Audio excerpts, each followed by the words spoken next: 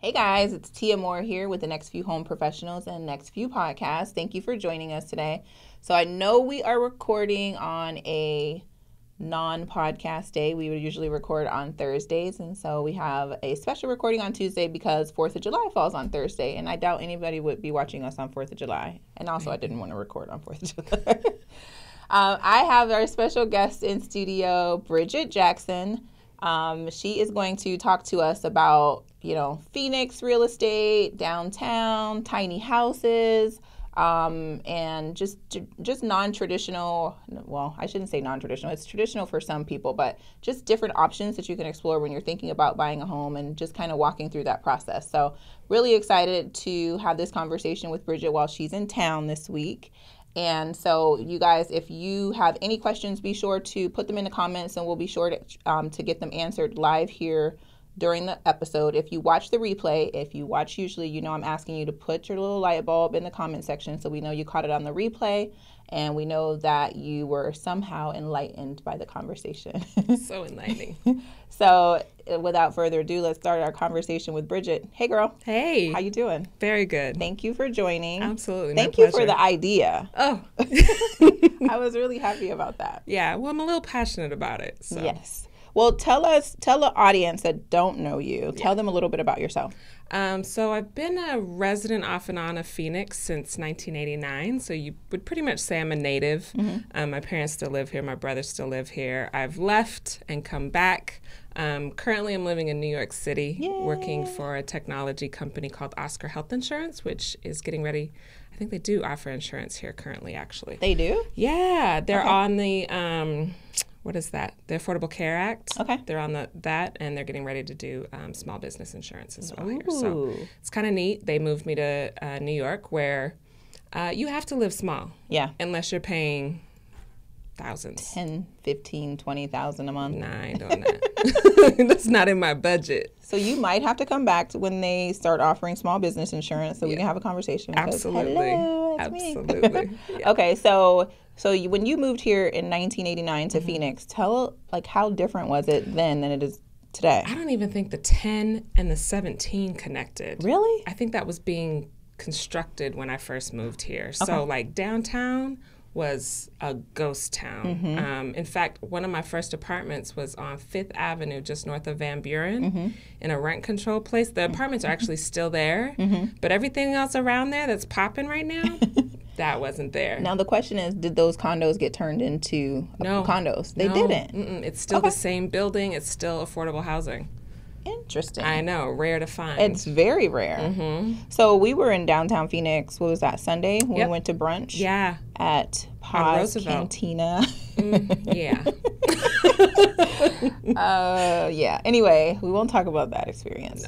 No. Um, but when we were down there, we talked about we talked a little bit about how much it's grown, even mm. just in the mm. last five years. Yeah, it's so nice over there. I, I love coming back and mm-hmm. coming into that area. Like it, it makes it hard. You know, I know a lot of people live out in the suburbs or mm-hmm. whatnot, but it makes it hard to want to live anywhere else when there's just so much, like so quickly you can mm-hmm. get to mm-hmm. so many things and it's just beautiful. I'm getting the downtown Phoenix bug. Not yeah. even I'm not even lying. I'm so serious about it. I'm like, how much more could I shrink I could do it. I think I could do it. I as long as I have closet space. I think anybody could do it. the only thing is more than is closet space for me. That's the only thing I care That's about. That's where you got to get creative. And like a, a, I can have, I can, I don't need a huge kitchen, but I need a functional kitchen. That's for sure. Because yeah. I do cook. Yeah.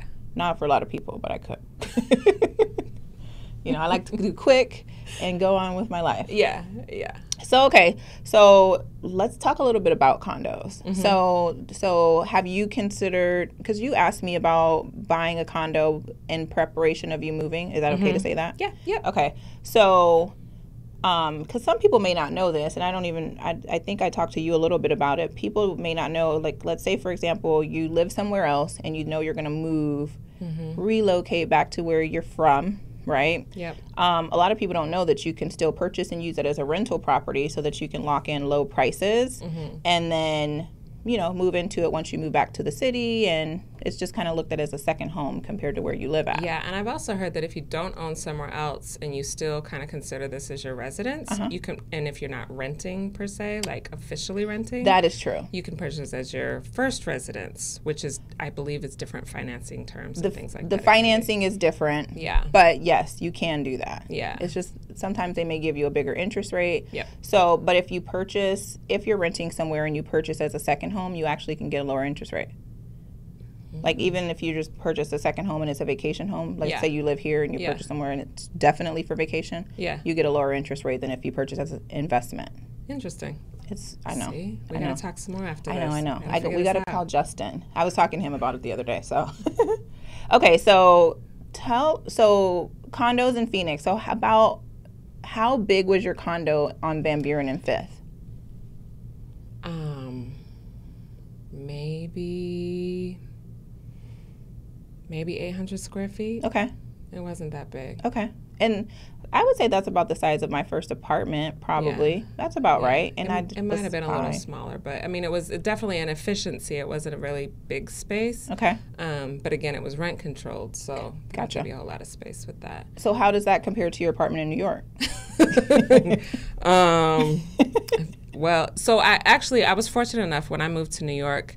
I moved in. My aunt is a flight attendant with Delta, and she has a place. So I'm actually renting a room from her. Very cool. um, in Queens, so I have a commute into the city. What, but that's really what made it affordable for me to move to New York because Ah. it's really you can't normally move to New York and say that you kind of made a financial come up. Yeah. I mean, I'm an executive assistant. I do okay, Mm-hmm. but I'm not. You know, I'm not making that level of bank where Right. New York was inexpensive. Um, but in the way that I did it, so um, so it's a pretty good sized place. Okay. Um, but my room is pretty small. it's it's pretty small. Like I think my closet in my last apartment in Phoenix was about as big as my room. oh wow. Yeah, I had a really big closet. See, that's place. important. That's Well, I've changed since then. Okay, so let's talk about that because Yeah. I know you are really interested in buying a tiny home, Mhm. tiny house. Yeah. So, I would like to know what what journey you had to go through to, To be to like, that? okay, I could buy a tiny house. So a few years back, I was um, in the music industry as a tour and production manager. Okay. So I lived out of a suit- suitcase for about two years. Okay. Um, so and all my stuff went into storage basically because I was home maybe a couple of weeks Okay, total out of a year. Okay. I was just in and out. Um, so I didn't even have a place really. I had all my things in storage. Mm-hmm. When I finally moved back to Phoenix and got my stuff out of storage, it was like, what is all this stuff? I haven't seen it. I haven't used it. There was a lot of things I was holding on to for sentimental value, or well, such and such gave this to me, Mm-hmm. and it's like, okay, but what what why am I holding on to it? Right. You know, and I started reading on um, kind of the uh, psychological reasons that we hold on to things. Um, I've always been into organizing and whatnot, so kind of my transition out of touring was I started doing um, like home and office organization, and I ended up with a lot of clients that were hoarders. really? Yeah. Wait, they were hoarders and they wanted to be organized. They thought that they could be organized. Okay. They thought that that was the problem. They didn't want to actually get rid of anything. They Oh, just see. thought if they organized it, and it was like, no, if you have a pathway through your house because you have boxes of things and and you're holding on to stuff, like there's stuff, you know, we hold on to things. Right. I mean, that's why storage units are popping up everywhere because So you ran out of room at your house and now you're I know. now And I- you're paying extra money to store stuff and so when i started looking at how much um, how much space did i want to have how much was those things worth to me that i was going to pay for square footage every month and that's when it started just kind of me equating okay i don't want to pay all my money into space to store things correct. You Yeah. know um, and i want to travel more things like that so i Mm-hmm. started thinking like what do i really need like do i really need eight different coats for winter you know i In mean Phoenix.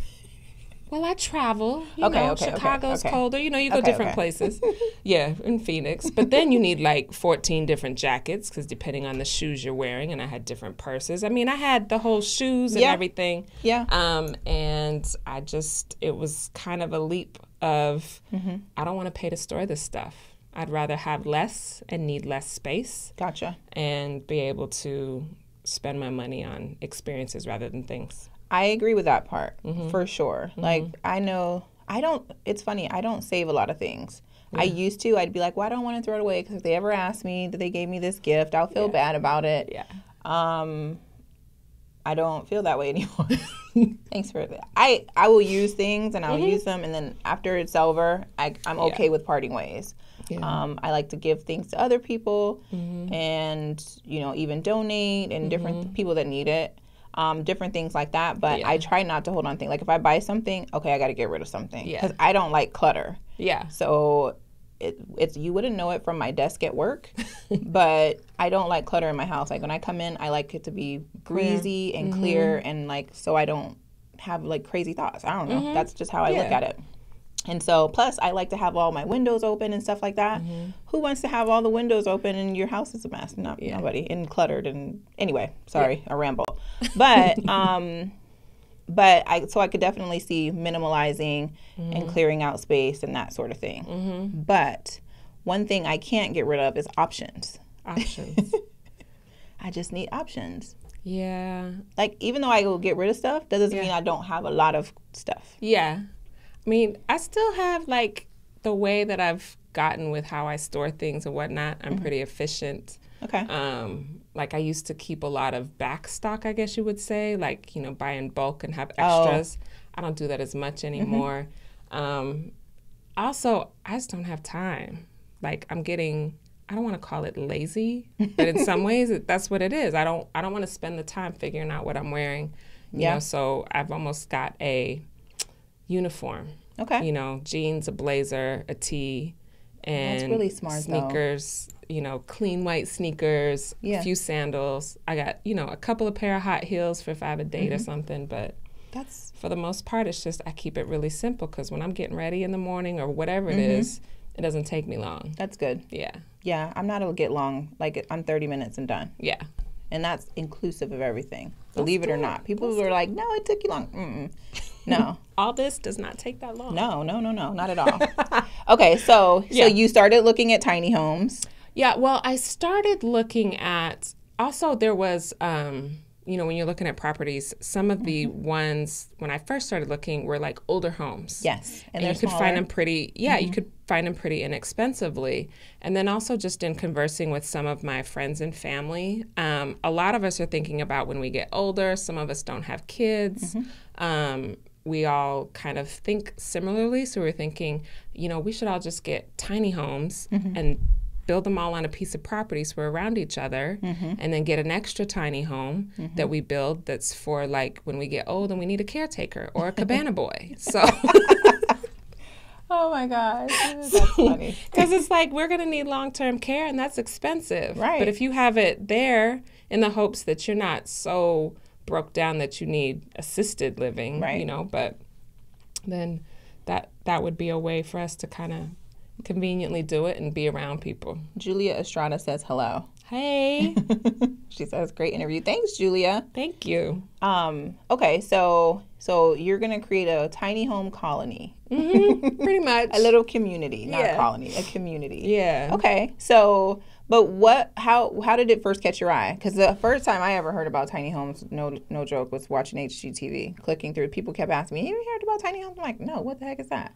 And I saw it on HGTV. You know, I can't remember exactly. I know it had to have been like a Pinterest, Instagram thing. I was looking at, you know, organizational, especially when I was doing that. Yeah. And I was looking at, you know, how to organize in small spaces. Mm-hmm. And that's when I started seeing more of the tiny home stuff and Gotcha. even RVs being converted where people live full time. Yes. I mean, living off the grid, Mm-hmm. being able to travel around and just kind of lock and go. That's Yeah. why, because those were the kinds of things I was interested in, Mm-hmm. then that's when I started seeing it. So then I started, you know, researching builders and getting Mm-hmm. plans because my father's pretty handy. Like he's helped build a home from the ground up, he's Nice. done home renovations. So I knew that if I wanted to go that route, He could help. he could direct me. Mm-hmm. You know, he let me know he's not he's not doing that. He's retired. He's like, and I'm going to stay that way. He's like, I've got my own house to deal with. I'm not building yours. But at least he'd be able to like, you know, guide me. direction. Yeah. There you go. Yeah. Okay, so your ideal tiny house situation, what does that look like? Um, ideally, it would be single level Okay. because I got to think about the knees Yep. and whatnot as I get older. They don't work so well. Um, a good functional kitchen. Okay. And I wouldn't need a very large living space because I want my living space to be outdoors. Ideally, I want to be in a place that's got mostly good weather Okay. um, and that I wouldn't really be sitting at, you know, inside that often. Okay. And, and I've seen some that kind of have almost like an expandable space where you can like put Yes. a nice um, porch cover, I've seen things like that. So um, that's that's really it. The kitchen is important. A nice bathroom. I've seen some Mm-hmm. of them where they're like pretty tiny, but you can get a pretty good size. Mm-hmm. Um, and and then on some land where I can have a small garden, Mm-hmm. you know, and have that outdoor living space. Would you get another dog? I would, you know, I've thought about getting a piece of land and doing like a rescue. Okay. There you go. So you Yeah. could do all that in one. Yeah. So if I went tiny, I would need it to be somewhat high tech. Yeah. like I just want to push a button and like my makeup rolls out and then I push it and it goes back in. and then like I mean, you can make that happen. I mean that's all I it's just the little things. I don't need a lot of crazy things, but mm-hmm. what I like to see and what I like in my where I live now and any place I've ever lived, I mm-hmm. like for things to be seen not seen. Yeah. I like everything to be put away. Yeah. And and I don't know, my environment may seem a little sterile to some people, but Yeah. I like that. I just don't like stuff being Same. everywhere. I'm the I same just, way. I don't like that. And Yeah. so if I had a tiny home, because there's not. So I've seen some where the storage is amazing. Mm-hmm. So, but I just want to push a button. I don't want to have to pull anything. You I want it all wanna- automated. I just want it. I know automated. there's somebody out there that can make that happen. I, oh, I'm sure. And if if they can't, they will be born By the time by the, or they'll be you know an adult in in the work field by the time I'm ready to make that Someone's going to be listening to this podcast and they're going to go and create it for you. Or that.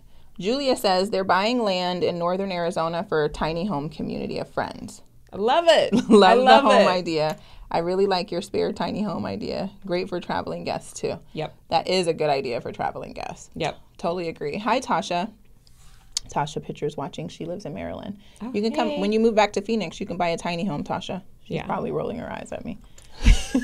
She's like, no. About a tiny home or moving back about a to tiny Phoenix? home. No, she's. I think she's gonna move back to Phoenix. Yeah. So, um, but yeah, about a tiny home. Nobody wants to live in the cold. Mm-mm. Like, like you said, you said I'm going to live with somewhere with nice weather. So you talked about what the tiny house is. Mm-hmm. Where would it be? Would it be here in Phoenix?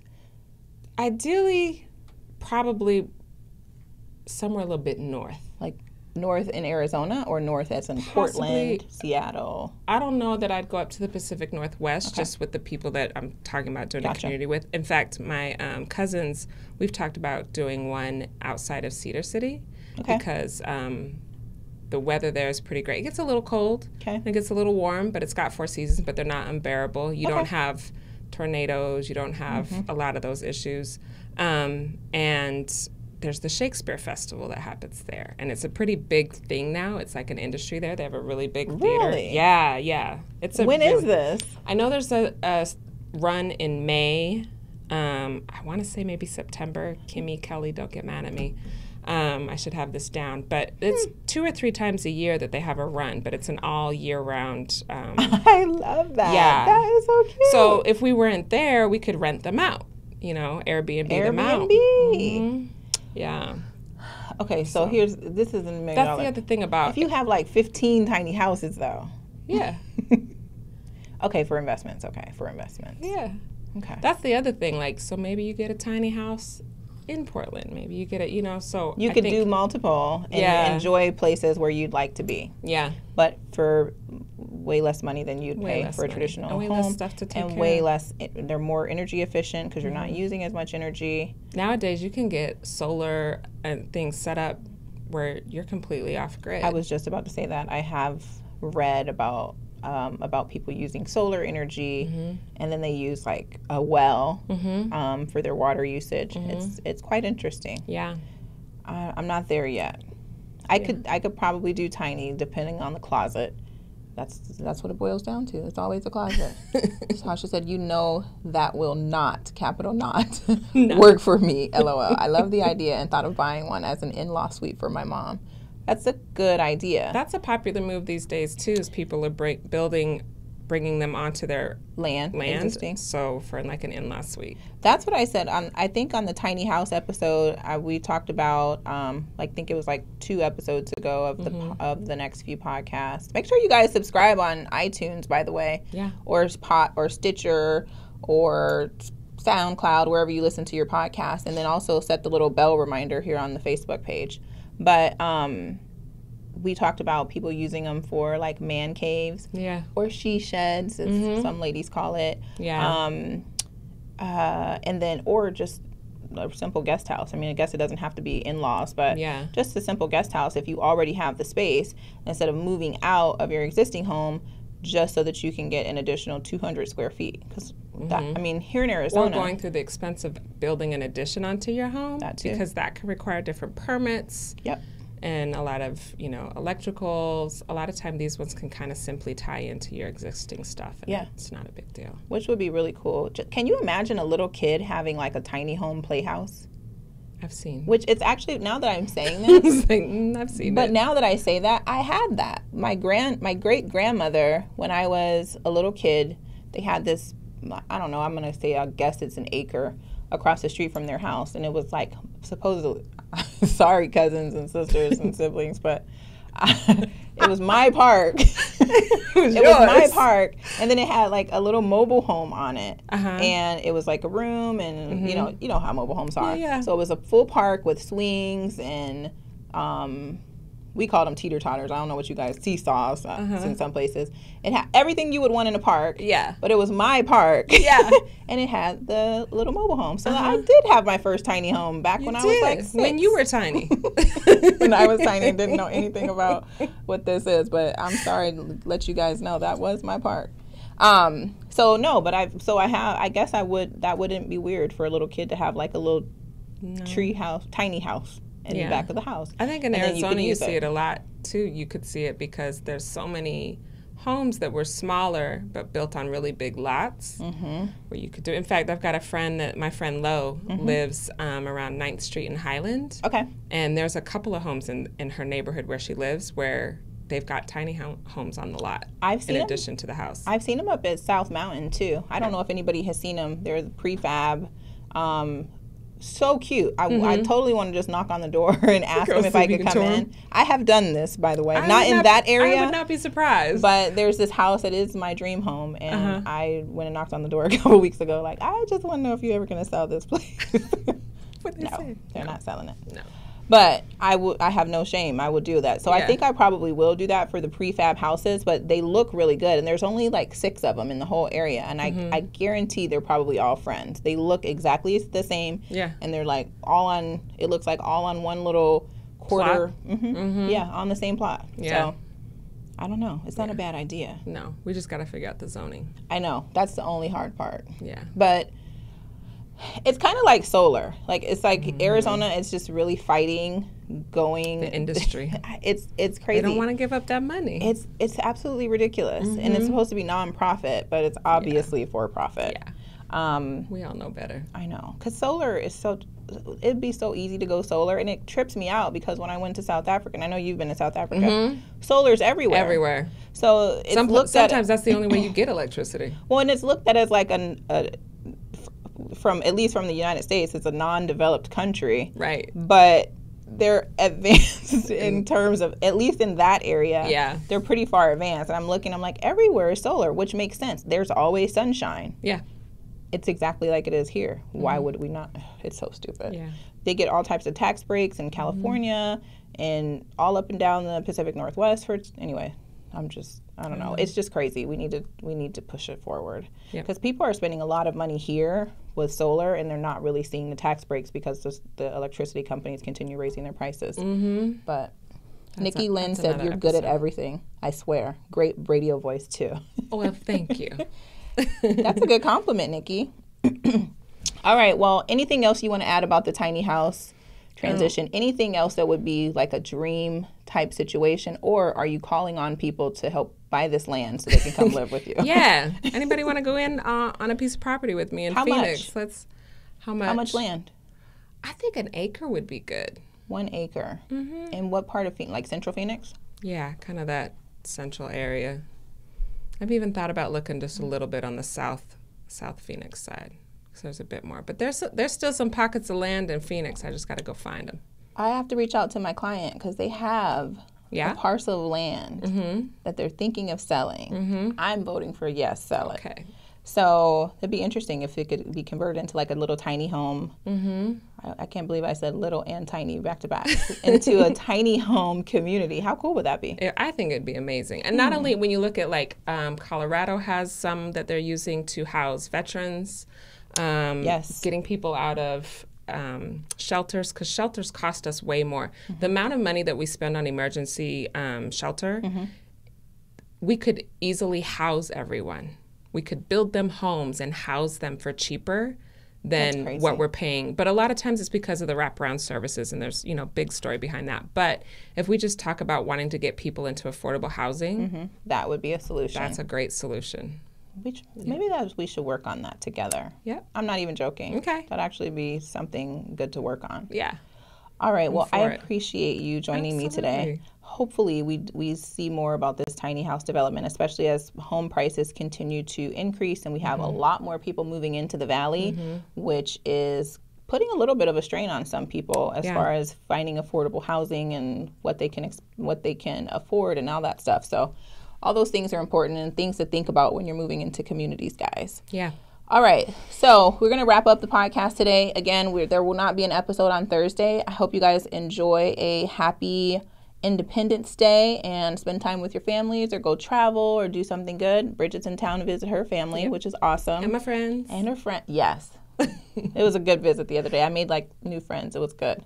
Um, so anyway, you guys, thank you so much for joining in. We love to make sure that you guys are connected with the best professionals out there. So when you're thinking about buying or selling a home, make sure you consider our team, the NextView home professionals, me, Samantha, and Fabi. We would love to assist you in whatever journey that you're going to go on, whichever whether it's a condo, a house, a tiny house. we want to be able to assist you. And even if you just have a question, feel free to reach out to us. Our number is 480-281-3078. You can text us at that number. And then if you're watching on the screen, you can just send us an email at info at nextviewre.com and we will be happy to answer your questions. We also work with the greatest loan originators in the business, Justin and Ryan um, from Nova Home Loans. They're the Oliver Whalen team. If you guys have refinances are crazy right now. Yeah, I bet. So you, if you're looking to, you know, stay in your home, looking to just, um, you know, reduce your interest rate, reduce your monthly payment, or maybe even take cash out, reach out to Ryan and Justin. They can assist you with that process. Their number is up on the screen. They will take good care of you. Even if you just have a simple question, be sure to reach out. I know I had somebody who was going through a different loan officer and they just wanted a, a second opinion, and Justin was gracious enough to give some advice on that. Um, and then we also recommend Yvonne Hunter, Dr. Yvonne Hunter from Platinum Home Warranty. She's absolutely the best. One thing I like about Platinum Home Warranty is that all of their servicers come directly from Platinum. So you're not having 45 different trades that are coming to your house and people that don't you really don't know or you maybe you're a little bit uncomfortable. They're coming directly from Platinum. So that's a great benefit um, when you work with Platinum Home Warranty. And then last but not least, Jeremy Eaton, which I'm going to put a little pressure on him. I'm pretty sure he's going to dress up as the Lion King for our next event. no, you didn't. So, security title, uh, they we recommend them for our escrows. We love working with Elva Palmer, and if Jeremy dresses up as the Lion King for us, we're gonna like him so much more. So, if you guys are refinancing, you're buying a house, make sure to consider security title and mention Jeremy. So, until next week, you guys, we will see you. Or until next week, we'll see you then. Um, if you guys have any questions, like I said, put them in the comments and be sure to reach out. See you later. Bye. Thanks, Bridget. You're welcome.